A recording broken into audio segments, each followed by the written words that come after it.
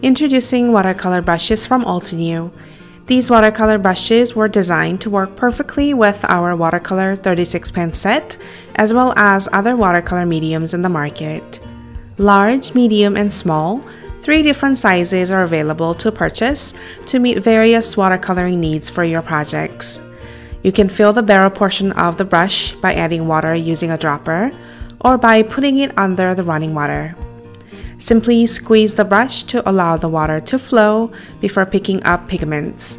After each color, wash it with clean water or rub it on a clean cloth to keep the brush clean or to pick up the next pigment. These watercolor brushes are perfect for everyday watercoloring, including while traveling. To find out more about the watercolor brushes and other related products, please visit us at altenew.com.